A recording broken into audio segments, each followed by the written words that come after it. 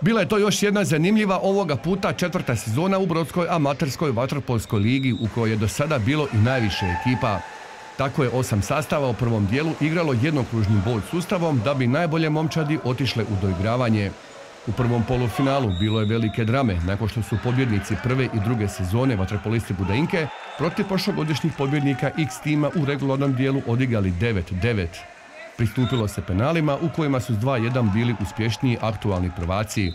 Oni su čekali pobjednika susreta između Hebranga i Brodskih Homera, koji je završio s visokih 14-5 za aktualne pobjednike Homer Kupa. U finalu je ponovno Hebrang pokazao kvalitetu, te je sa 6-4 došao do pobjede i svog prvog naslova u Bavlu, s kojim je tako osvojio dvostruku krunu jer su pobjednici i Homer Kupa.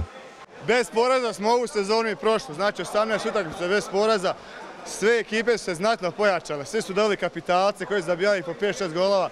Mi nismo nikog doveli i rekli su na početku kao, eto, vi ste sljedeći god nekog dovesti, ono, slabi ste. Unatoč svemu tome, bez poraza i ove godine. I ove godine je bilo puno teže nego prošle godine. Prošle godine su bili onako izraziti favoriti, ove godine nas niko nije svrstao ni u top 3, ali pokazali smo kako se igra.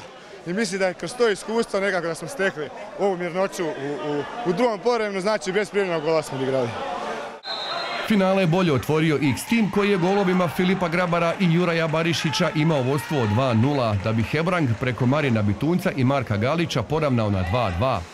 Nakon toga ponovno slijedi dobra igra X tima i Juraj Barišić svoju momčad dovodi u vodstvo s 3-2, dok aktualni prvaci lige golom Slaviše Katušića bježe i na 4-2. Činilo se da bi X Team mogao obraniti naslov, a onda je Hebrang pokazao karakter i kvalitetu, te su Marin Bitunjac i Krešimir Ratković bili strijelci za 4-4. U samoj završnici su Marko Galić i Zvonimir Gačić svojim golovima vaterpolistima Hebranga donijeli prvi naslov u četvrtoj sezoni Brodske amaterske vaterpolske lige. Čestitke Hebrangu na odličnoj utakmici i na osvajanju ovog bavla. Čestitke mojim dečkima u X-Teamu jer smo pokazali evo već jednu treću sezonu i u sva ova natjecanja koje imamo tu u Brodu da više nismo slučajnost. Istina, imali smo vodstvo, ma okrene se to u jednom, u jednom dodavanju, u jednom trenutku, ali kažem opet zaslužena pobjeda u ovom trenutku Hebranga, dobri smo, znači kompletirali smo se, dolazimo plivat, družimo se super, evo to je bit svega ovoga. U susretu za treće mjesto Budenka je sa 8-3 bila bolja od brodskih Homera, iza kojih je jako dobra sezona u kojoj su napravili veliki korak prema naprijed u odnosu na prošle. Vaterpolistima Budainke osim trećeg mjesta utjeha je što imaju i najboljeg strelca lige Vanju Grabavca, koji je postigao 42 gola. U polufinalu smo izgubili od X tima, ja bih rekao nesretno na, na, na peterce. Moglo otići na našu stranu, ošlo je ovaj puta na njihovu. Evo sad se tu, oni, oni se bore za, za prvaka. Mi smo sad lagano odradili Homere, treći smo, ne možemo reći da smo zadovoljni, očekivali smo puno više.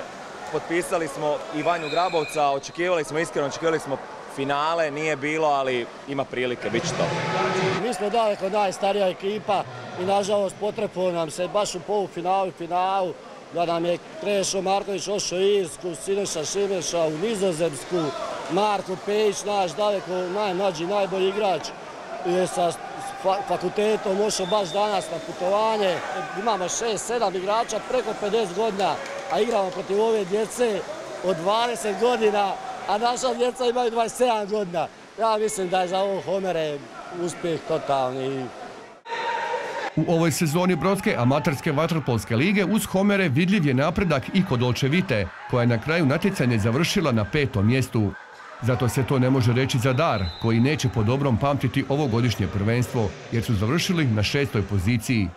Na začelju su kao sedmi vaterpolisti Sport Bara, dok je nova ekipa u Ligi Livada prema očekivanju posljednja. Ova sezona je nešto malo slabija, ali nema veze. Ovaj, mi smo tu nekako stalo uvijek na okupu. Ekipa smo i u najboljim danima i u ovim malo lošim, ali nema veze. Ovaj, imamo uvijek prostora malo za napredaka i ono što je najbitnije, ovaj, ovo nas ispunjava na neki onako lijep način, ovaj, ta jedna rekreacija nedjeljom gdje nas se skupi Znači osam ekipa puta otprilike 12-13 ljudi po ekipi, znači preko 100 ljudi otprilike. Tako da ovaj, super je to jedan, jedna manifestacija što se događa rezultat je takav kakav je, trebamo ga prihvatiti, da smo nešto baš zadovoljni i nismo, za iduću sezonu ćemo se definitivno bolje potruditi, skupiti još neke igrače koji su iskazali želju da igraju za nas, malo se više uigrati kao ekipa i smatram da ćemo na godinu stvariti puno, puno bolji rezultat. Dogovorili smo se da ćemo se bolje dogovarati, organizirati u buduće i da ćemo se malo više dati sebe u ovo sve. Tako je ovu četvrtu sezonu u Brodskoj amaterskoj vaterpolskoj ligi Hebrang završio sa šest pobjeda i tri neodlučene, te su bez poraza. Kada se tome doda i Homer Kup, onda su oni 18 utakmica neporaženi, dok Hebrangovci ovog ljeta žele i do trostruke krune.